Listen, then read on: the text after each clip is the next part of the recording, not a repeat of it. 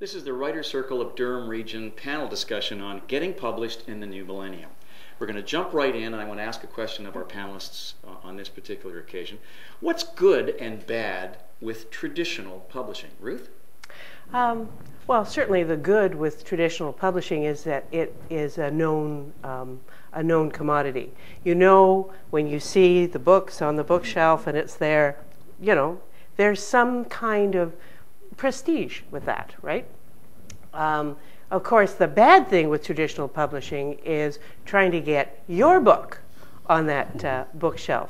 And uh, even doing all of the right things uh, doesn't always uh, doesn't always guarantee. As a matter of fact, it doesn't guarantee a darn thing. You know. When James, when you talk to your students, what do you tell them about the upside and the downside of publishing currently and traditionally?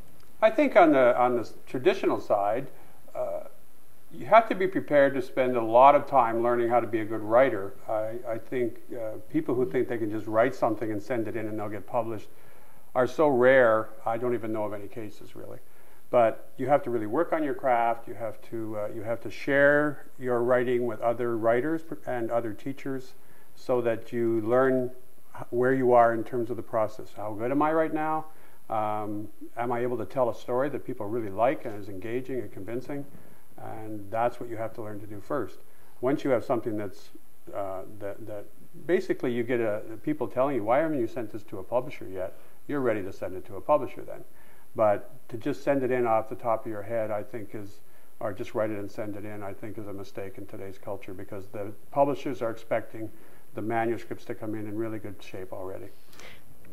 I just want to say the reason they're expecting that is because they have very few editorial support staff mm-hmm. anymore. Mm-hmm. The days of having um, an editor there um, in the traditional uh, right. publishing houses who actually um, uh, focuses on your work are it's just becoming a, a, less common thing. Right. Yeah. Erin, you haven't worked with traditional public publishers or. Uh, um, traditional is the only I've worked with actually. Okay, I was, okay, I was confusing uh, your yeah. background with Dawn's. Talk a little bit about personally. Talk a little bit about your experience, both the good and the bad, with traditional publishing. All right. Um, I, I've only published two books so far. The first was uh, Fire with HIP Books, and it was a little different than than the normal traditional publishing because it was the publisher had hired three of us to write a series that didn't exist before. Normally, you would create your manuscript and polish it, as James and Ruth were saying. You, would make it as good as you could. You'd run it through your writing group, you'd take courses, and you'd bring it up to that level before you even sent it anywhere near a publisher. This was a publisher initiating the project. Um, my second book Boarder Patrol, which will be out with Orca Sports in May, is a little more is a little more close to the, the traditional publishing model because although I did send a proposal first, um, I, I, still wrote the manuscript according to my ideas and then submitted it to them. It sounds like you had a lot of control. It sounds like you were able to do what you wanted to do. Mm-hmm. What's mm-hmm. what's the downside to that kind of process where perhaps if you were working with a larger house, perhaps, or one that had stronger control over your work, they would sort of almost um, negotiate with you. you know, I, I wouldn't say that it's like that. Um, working with Orca was wonderful because th- they liked my manuscript, they were happy with it, and they signed the contract. But there were definitely things that they wanted changed. Such as.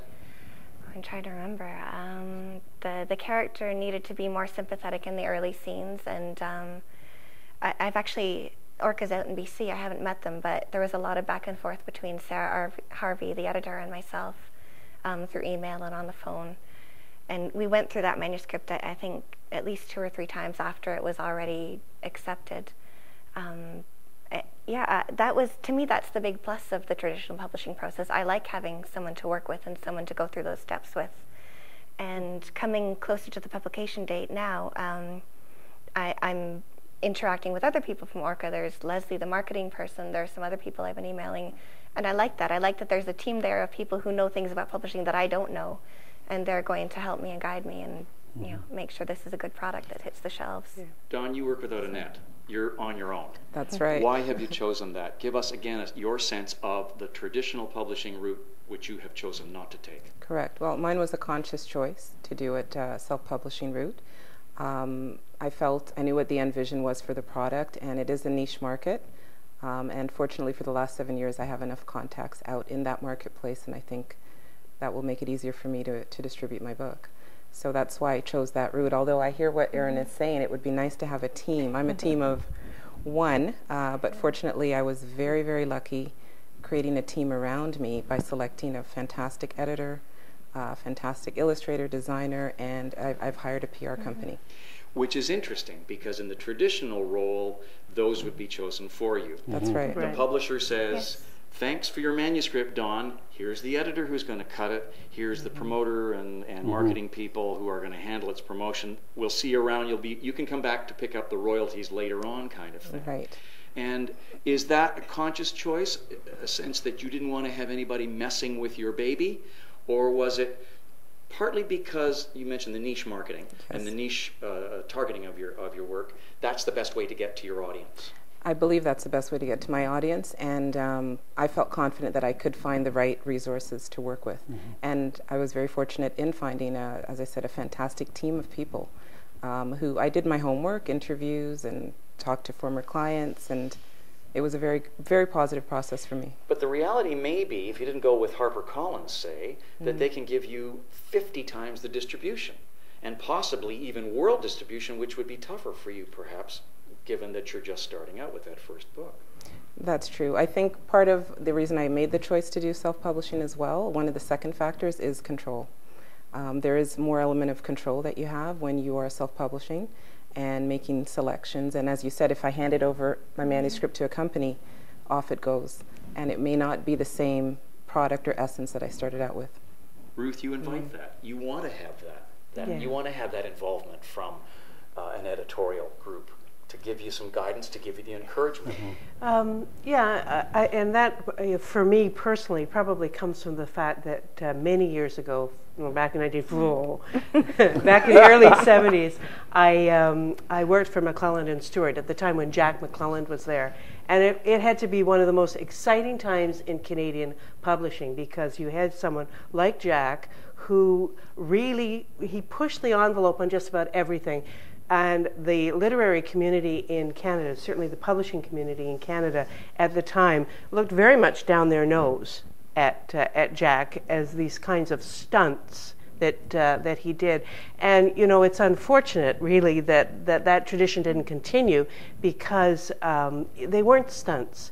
They were a little zany, they were um, exciting, they were different, they were doing something with Canadian literature that wasn't covered in dust. And that's a really that's a really nice thing because literature is and it, it certainly can be a very um, exciting. Um, uh, like I get excited writing, and if I read something that's great, I get excited about reading it. You know, so I um, I'd like to see that kind of energy in the traditional publishing world. Sadly, I don't think it's there. And in fact, if I ran a business the way traditional Canadian publishers, for the major- on the majority of cases, in my experience, if I ran a business that way, I'd have closed up and gone, uh, closed up shop long ago. Last chance to use Sorry. James on this one because um, you deal with students who are aspiring to all these things. Very quickly, give us a sense of one, or- one or two or the three of the, the valuable things of the traditional publishing age that uh, Ruth is lamenting is gone. I think um, the days of the of the uh, book tour. Uh, I know several writers who have been published who aren't going on book tours. Uh, their their publishers are not going to take them on a tour. They can't afford it anymore. Uh, one of the reasons is that the government isn't financing book publishers the way they used to. They used to have a lot more cash. They don't. Um, I think the the the thing uh, that uh, uh, I think I'm a lot of people are coming to me and ask through my publishing company, Pecan Press, if they can publish a book through me. And when I go through the process, like Dawn has explained, where you've got to you've got to arrange to have a, a graphic designer to do your cover, you've got to arrange uh, someone to do the layout, you've got to arrange an editor. You have to have an editor, and you have to look at how you're going to distribute and actually promote your own book. Um, what they what what they ha- they don't understand is you are taking on the role of the traditional publisher yourself. You're taking on all that responsibility yourself. The nice thing about today is it's cheap enough because of digitization and a variety of other methods that you can actually pull it off. And uh, someone like Dawn is going to be very successful because she works hard at every area of it.